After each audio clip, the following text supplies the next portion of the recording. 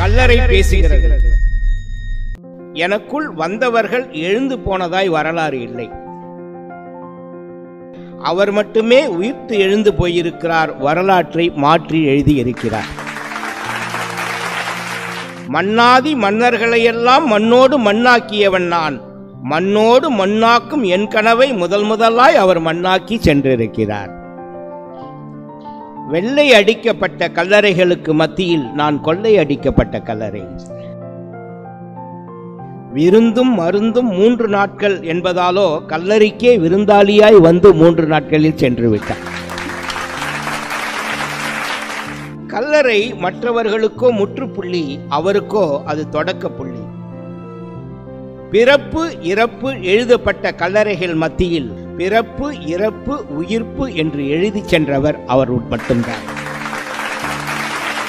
கல்லறை மனிதர்களுக்கு சொந்த வீடு இறைவனுக்கோ அது வாடகை வீடு. மனிதர்களுக்கு அது சொந்த வீடு இயேசுவுக்கோ அது வாடகை வீடு. கல்லறையில் புற்கள் முளைக்கும் இங்கு மட்டும்தான் ஒரு முகிரே முளைத்து சென்றிருக்கிறது. கல்லறையில் புரட்டப்பட்ட கல் அல்ல நான் வரலாற்றையே புரட்டி போட்ட கல் நான். உயிர்த்தெழுந்தவரை பார்த்த முதல் சாட்சி நான். அந்த புரட்டி போட்ட கொல் சொல் தான் உயிர்த்தெழுந்தவரை பார்த்த முதல் சாட்சி நான்.